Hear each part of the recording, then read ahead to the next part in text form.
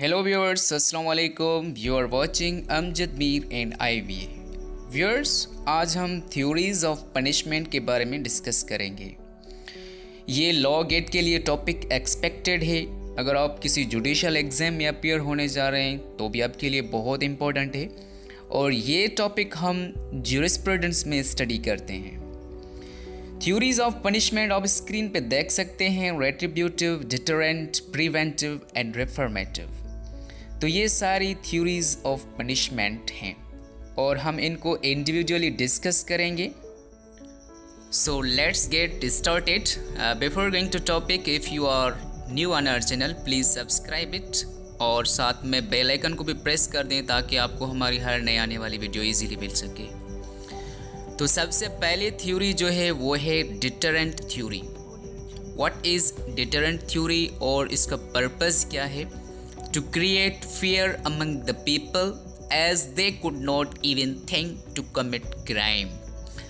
Deterrent theory का purpose ये है, ये एक पनिशमेंट है और इसका पर्पज़ ये है कि लोगों में खौफ पैदा करना फियर पैदा करना ताकि वो जो है क्राइम कमिट ना करें ये एक ऐसी पनिशमेंट है जो कि किसी एक ऑफेंडर को दी जाए तो वो सारी सोसाइटी के बंदों के लिए खौफ होता है फेयर होता है कि भाई अगर वो कमिट करेंगे तो उनको भी ऐसी ही पनिशमेंट मिलेगी।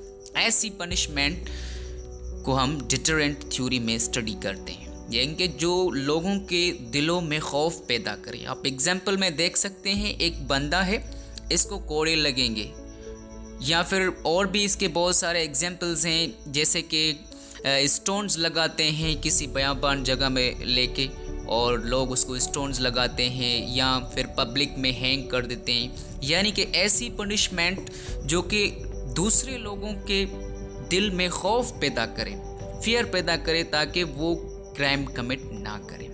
This is the purpose of the theory of deterrent उसके बाद है प्रिवेंटिव थ्योरी प्रिवेंटिव थ्योरी का पर्पज़ क्या है? To prevent an offender not to commit crime again इस थ्योरी का पर्पज़ ये है कि अफेंडर को रोका जाता है कि भाई वो अगेन क्राइम कमिट ना करे। या फिर एक ऐसा बंदा है जिसने क्राइम किया है तो उसको सोसाइटी से बाहर किया जाता है, उसको कस्टडी में किया जाता है जेल में रखा जाता है, ताकि वो दोबारा कोई ऑफेंस कोई क्राइम ना कमिट करे।